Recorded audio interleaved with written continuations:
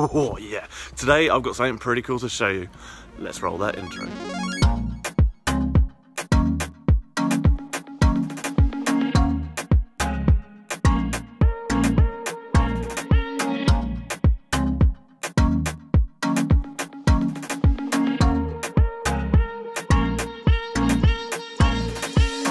Now, before we jump into this, I want to tell you a little bit about myself and what I do.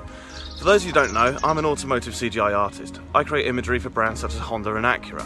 Now, the company that I work for, Taylor James, very kindly sent us down to Plough Studios in London, along with professional photographer James Mann, for a CG lighting workshop.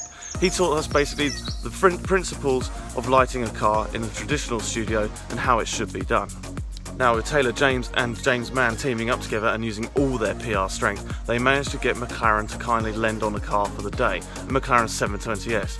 Now with me shooting a McLaren 650S Le Mans edition at Supercar Rooms the other week, video in the description, I was so stoked to find out that I'll be shooting a McLaren so soon. I didn't think it'd be happening again.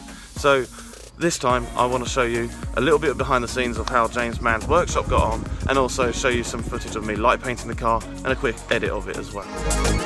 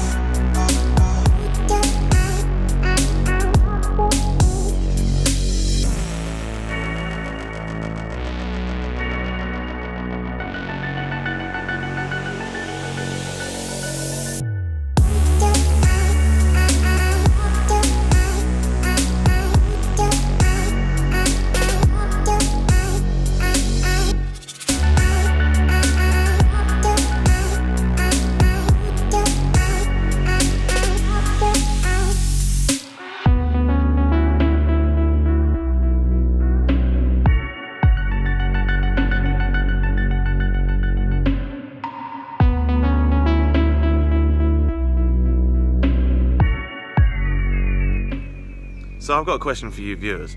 Do you find it interesting seeing the speed edit that I do in the videos? I actually record the whole hour and a half session it takes to, for me to edit the McLaren inside Lightroom and Photoshop. So that footage exists. Do you want me to break that down into sections? For instance, how I work on the car separately to the background? Or do you want me to show you certain tools inside Photoshop? Or basically how I organise and structure the file so I can find layers that I want quickly and efficiently and then build up the image from there. Just let me know what you would like to see in the comments down below. Don't forget to like, comment and subscribe. I'll see you in the next one.